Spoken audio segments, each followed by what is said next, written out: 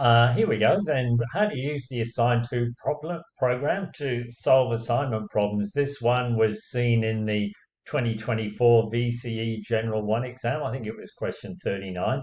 And it was a multiple choice, one marker. And the students had to assign these four students to um, these four tasks. First of all, work out the cost for that.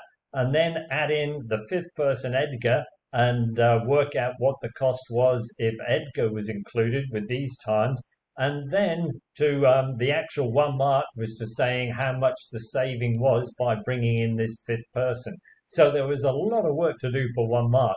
And um, if you had a, a program like this, it made life very straightforward. So let's have a look how it works. Now, in main, the first job we need to do is set up our cost matrix. So here are the costs associated with all four people doing the four tasks. So I've stored it into um, matrix A here already. So once that's done, then we head off into the program and choose the AssignII program.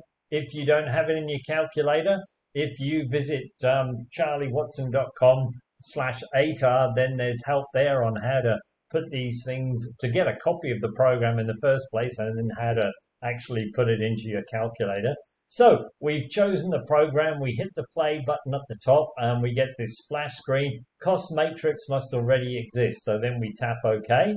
And the name of the cost matrix, now I've stored it in uh, A if you remember. So I'll get the keyboard up, tap in A and say OK. Do we want to minimize or maximize the assignment? We want the minimum cost. So we'll put in a zero and say OK. And so here's the original cost matrix that we've got here that we've already stored. And then we tap OK. Now, then the first job is to reduce the rows. So it's saying we've subtracted 8, 7, 10, and 10 from uh, row 1, row 2, row 3, and row 4. And then we say OK again. And here's um, the matrix. Um, now, after reducing the columns, then this is what we're left with. So we've subtracted 0, 0, 6, and 1.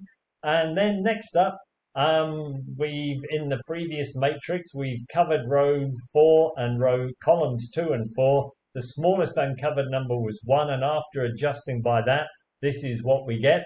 And okay again, and then it says here's the assignment. But what we're really interested in is just this minimum cost of 43.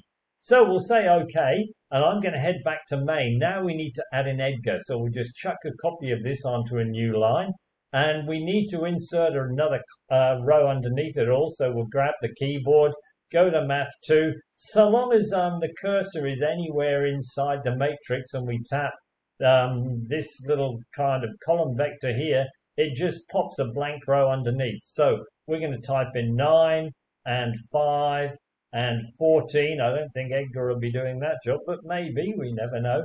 And then 8. And then this time let's store it into um, matrix B. Okay, and where did that Z come from? So let me just, just get in a B there. Okay, so we'll hit execute.